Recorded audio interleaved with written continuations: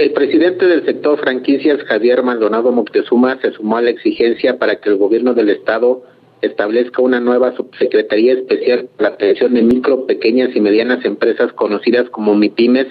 como la víspera demandó su par del Consejo de Organismos Empresariales Luis Gerardo Iman Peraldi. Maldonado Moctezuma apuntó que los apoyos económicos que destina el gobierno federal a MIPIMES han sido desaprovechados en Puebla debido a la falta de atención por parte de las autoridades municipales y estatales hacia este sector. Para sustentar su dicho, de ejemplo, el caso del Programa Nacional de Franquicias, el cual tiene un ejercicio del 40% debido a que los montos no han sido aprovechados por el sector privado, a pesar de que el sector tiene niveles de crecimiento superiores a dos dígitos al año. En su tradicional rueda de prensa de los miércoles, el líder empresarial censuró las declaraciones que ayer realizó el titular de la Secretaría de Competitividad, Trabajo y Desarrollo Económico, Pablo Rodríguez Regordosa, en el sentido de destacar la apertura de la subsecretaría. Sentimos que se están dejando de lado muchos de los recursos que la Secretaría de Economía ha dispuesto en los distintos programas de la Secretaría de Economía Federal.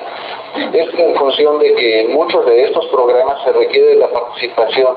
del gobierno del Estado o de los gobiernos municipales o de ambos para que puedan acceder las empresas a estos recursos. Y sentimos que se han desperdiciado muchos de estos programas precisamente porque no se les está poniendo la debida atención a las, a las empresas este, pequeñas, a los micropymes,